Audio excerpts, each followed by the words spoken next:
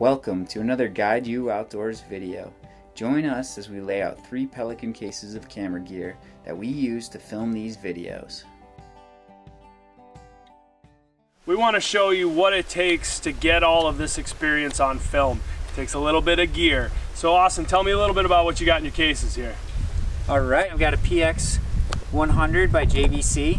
Uh, great little camera, great zoom, dual microphone. It's been through the ringer. Got some cracks in the LCD back here. Uh, fallen in the swamp. Um, good, good cameras normally take a beating, so you want something that's pretty rugged, and that's held up well. Yeah, yeah. And then of course the GoPro. Been through a two and a three that stopped working. The four's been working great though. Uh, you know, great shots with these all around for yeah. sure. The GoPro really is a, is a key kind of device. It's waterproof, it's small, it's portable. It can have its problems, it can glitch on you, but you get so many cool shots that it's really a nice camera to have for these types of adventures and to document them. Right, they make great accessories like the dog harness, which you love in our videos with all the dogs in them. So next is our favorite um, new toy. This is the DJI Spark. A nice little small drone.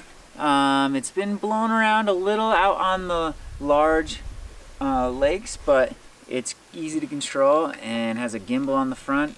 Great little thing.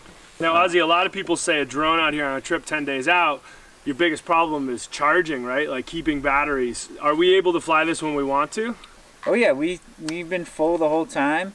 Um, what our rig is, we've had a Venture 30 that we've been charging off these Goal Zero um, solar panels. I've got the old model and the new model you can daisy chain together yeah. and that's what I've been doing.